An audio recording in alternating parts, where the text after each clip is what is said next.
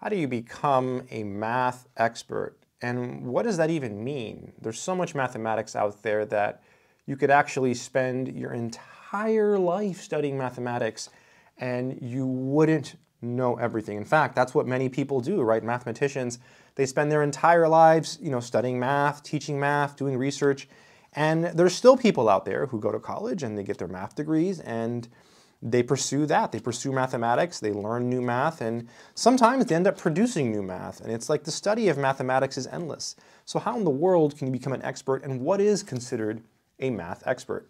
So in this video, I want to talk about that because I want to talk about a book that you can use to learn tons of mathematics. And I've talked about this book before, and I feel like the title of this book is, it's not misleading, but it kind of indicates that it's for another audience, and it is. This is a book that's written for engineers, but this book contains so much mathematics, and it's just absolutely beautiful. You know, I had a student who was a physics major, and I remember talking to him uh, in my office about this book, and he also appreciated the quantity of mathematics, I just have to smell it, that is found in this book. I feel like if you bought this book and you worked through it, you would be a mathematics expert because it contains so much information.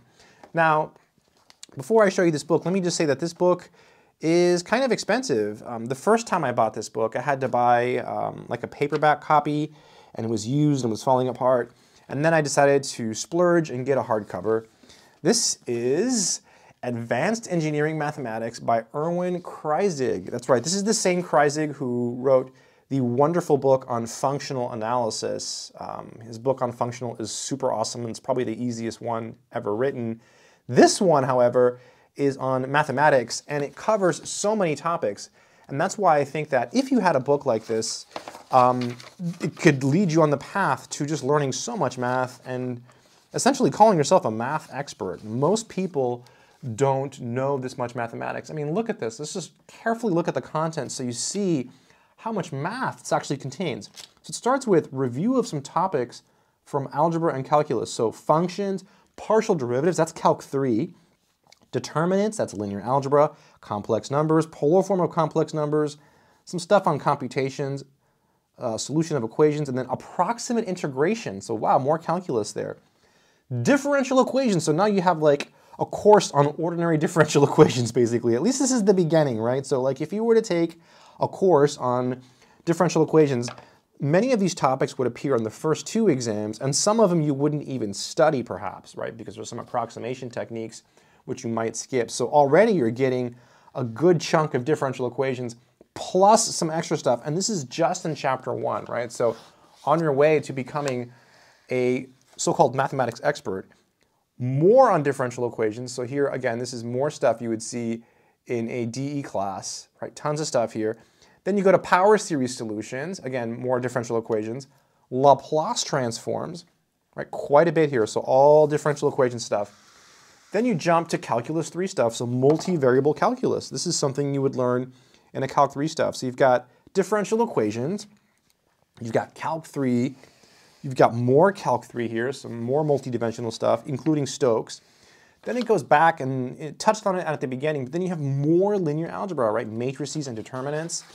So something you would learn in a linear algebra class, right? So pretty, pretty nuts. So calculus, differential equations, linear algebra. Then you have Fourier series and integrals, something that you know you probably wouldn't see, right? And then partial differential equations. So this is a whole separate course you can take in college, which is pretty amazing. So we've got calculus, linear algebra, differential equations, Fourier series and integrals. Then you go into complex variables, right? Complex analytic functions. This is another course you would take in college, usually a 4,000 level course. Usually to study this, you have to have some Calc 3 and perhaps some linear algebra, so it makes sense they throw it in chapter 10. More complex variable stuff, more complex variable stuff. Then you get to revisit some Calc 2 stuff with sequences and series. So you see how having a book like this and working through it, it just exposes you to so much math. Taylor and Laurent series, this is more complex variable stuff. Residues, complex analytic functions and potential theory, special functions, and then look at this. There's actually a chapter on probability and statistics, so you cover that. And it's mathematical, right? It's not just like oh, this is what a hypothesis test means. No, no, no, which is good. There's nothing wrong with that, but it's more in depth. Um, let's, let's just jump to that. Oh, and you have answers, by the way, to some of the odd numbered problems. Let's look at that probability section because that's something that most people will probably not look at because it's near the end, but look at this. This is something you would learn in a mathematical statistics course, uh, which usually uh, calculus is a prereq for, calculus 3. And it's really cool, right? A lot of people don't study this stuff. This is nice. I just have to smell it. My copy just smells so good.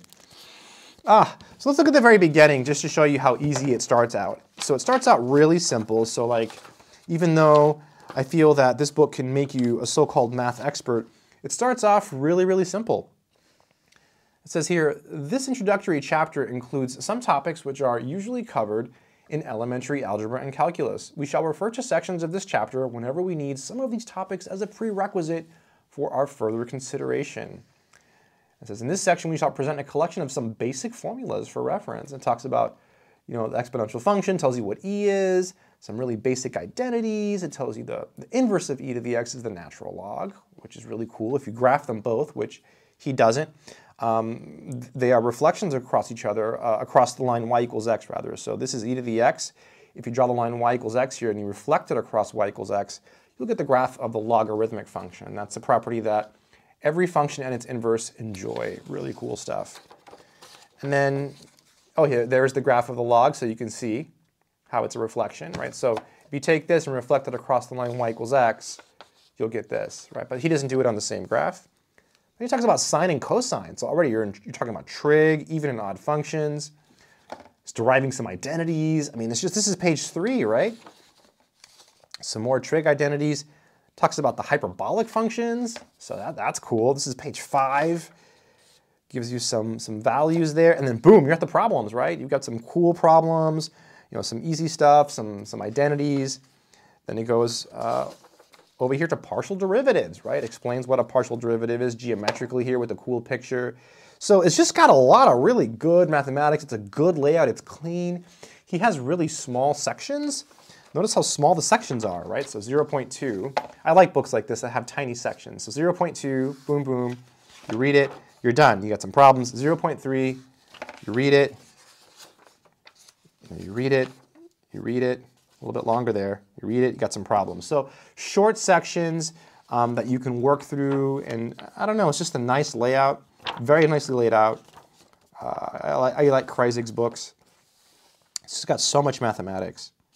And this is a book, I guess it's meant to be like a reference book perhaps, or, or, or, a book you could use for like an applied math class if you were an applied math major, or a physics major, or an engineering major. So this book is intended, again, it's advanced engineering mathematics. But I think that, uh, again, that title is misleading. I think this can make you really good at mathematics because it has so much math and it exposes you to so much mathematics. So it's a great way to either review or learn some, some new topics. The biggest con of this book is the price. It's, a, it's an expensive book. I paid quite a bit for this used copy. I smell it again.